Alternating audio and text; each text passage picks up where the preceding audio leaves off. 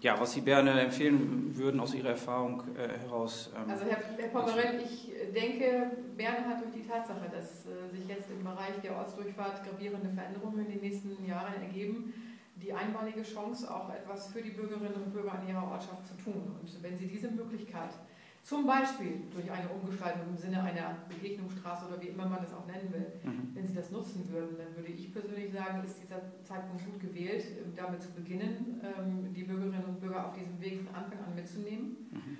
Und ähm, ich denke, wenn Sie den Ort in der Lebensqualität steigern wollen, wenn Sie ihn attraktiv als Wohnstandort, als, als Lebensmittelpunkt machen wollen, auch für junge Familien, mhm dann ist es, denke ich mir mal, an der Zeit auch äh, gerade Ortsmitte mit einem gewissen Schwerpunkt wieder ähm, optisch erlebbar auch zu machen. Mhm. Ich ähm, kann Ihnen wirklich nur raten, machen Sie sich auf den Weg, auch wenn es länger dauert.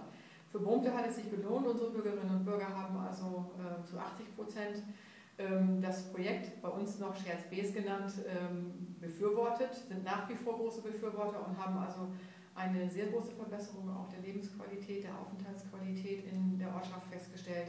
Weniger Lärm, weniger Abgasemissionen. Ähm, es wird mehr als Begegnungsstelle, als Begegnungsort empfunden als, den, äh, als Verkehrsfläche. Und ich denke, das ist für Bürgerinnen und Bürger einer Ortschaft, die dort leben müssen, mhm. ein absoluter Gewinn.